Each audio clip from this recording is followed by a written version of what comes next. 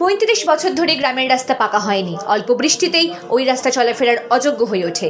পাকা রাস্তার তৈরি প্রতিশ্রুতি এখনও পূরণ করেনি পঞ্চায়েত। তাই পঞ্চায়েত প্রধান ও উপপ্রধানের বিরুদ্ধে ক্ষোভ উগড়ে দিলেন গ্রামবাসীরা। পঞ্চায়েত অফিসে তালা মেরে পাকা রাস্তার দাবিতে বিক্ষোভ দেখালেন। দক্ষিণ দিনাজপুর জেলার বালুরঘাট ব্লকের চক্কাশি থেকে রাধানগর যাওয়ার রাস্তাটি দীর্ঘ পঁয়ত্রিশ বছর ধরে সংস্কার হয়নি। ওই রাস্তার সংস্কারের দাবিতে আগেও আন্দোলন হয়েছিল। প্রতিশ্রুতিও দেওয়া হয়েছিল, কিন্তু দাবি মতো কাজ হয়নি রাস্তার। বৃহস্পতিবার সকাল থেকে গ্রামের মহিলারা পঞ্চায়েত অফিস ঘেরাও করে বিক্ষোভ শুরু করেন।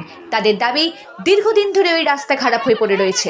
প্রধান ও উপপ্রধান নিজেদের এলাকার রাস্তাগুলোর সংস্কার করলেও তাদের ওই রাস্তার দিকে ঘুরেও তাকান না, শুধু আশ্বাস দিয়ে যাচ্ছেন। অনেকদিন ধরে আমাদের রাস্তাটা খারাপ অবস্থায় আছে। আমার বয়স পঁয়ত্রিশ বছর। সেই পঁয়ত্রিশ বছর থেকে দেখে যাচ্ছি যে রাস্তাটার বেহাল অবস্থা। যখন বর্ষাকাল পরে বর্ষাকালে আমরা তো আসতেই পারি না, যেতে পারি না বিশেষ স্কুলের ছাত্রছাত্রী যারা, তারাও তো আসতে পারে না, তারাও পড়ে যায়। আমিও পড়ে গেছি অনেকবার। চক্কাশি থেকে রাধানগর ঘাট পর্যন্ত যে রাস্তা বেহাল অবস্থায় পড়ে আছে, এই নিয়ে তিনবার হলো আমাদের প্রতিশ্রুতি দেওয়ার পরেও সে প্রতিশ্রুতি রাখেনি। প্রধান বা উপপ্রধান এরা রাখেনি। এদের কি?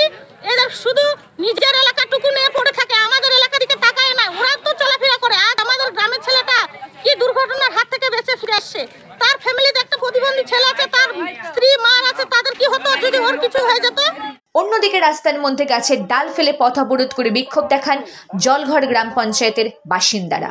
রাস্তা বেহাল অবস্থার জন্যই আমরা পথ অবরোধ করেছি এবং মা বোনেরা সবাই আসছে। সকালবেলা মাইকিং করা হয়েছে এবং মা বোনেরা সবাই আসছে যে একটু রান্নাবাড়ি করার ব্যাপার আছে।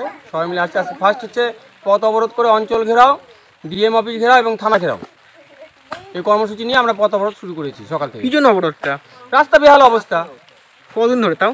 মোটামুটি দু বছর হলো। একই রকম প্রতিশ্রুতি যে করছি করব এই করছি এই করব। বিক্ষোভ ও অবরোধের খবর পেয়ে ঘটনাস্থলে পৌঁছন বালুরঘাটের বিডিও অনুজ শিকদার। তিনি গ্রামবাসীদের সাথে কথা বলেন। বিডিওর আশ্বাস পেয়ে অবশেষে অবরোধ তোলে গ্রামবাসীরা। বিডিও অনুজ শিকদার জানান দুয়ারে সরকার ও পাড়ায় সমাধান প্রকল্পের আওতায় দ্রুত কাজ করা হবে। আমাদের দুয়ারে সরকারের মাধ্যমে পাড়ায় সমাধান যে প্রকল্প আছে সেই প্রকল্পে আমরা কাজটা অতি দ্রুত যতটা দ্রুত সম্ভব আমরা সরকার দৃষ্টি আকর্ষণ করে করে দেওয়ার সামগ্রিক প্রতিশ্রুতি দিলাম। আজকের দিন দাঁড়িয়ে যেটা মনে হয়েছে বর্ষার সময় পাওয়া চলাচলের উপযোগী। আমরা আমাদের পঞ্চায়েত সমিতির পক্ষ থেকে কিছু রাবিশ ফেলে দিয়ে যাতায়াতের উপযোগী করে দেবো। বর্ষাটা চলে গেলে আমরা সিমেন্ট কংক্রিট রোড করে দেবো। সমস্যার সমাধান আদৌ হবে কিনা তার জন্য প্রশাসনের দিকে তাকিয়ে অপেক্ষা করতে হবে গ্রামবাসীদের। The Wall bureau.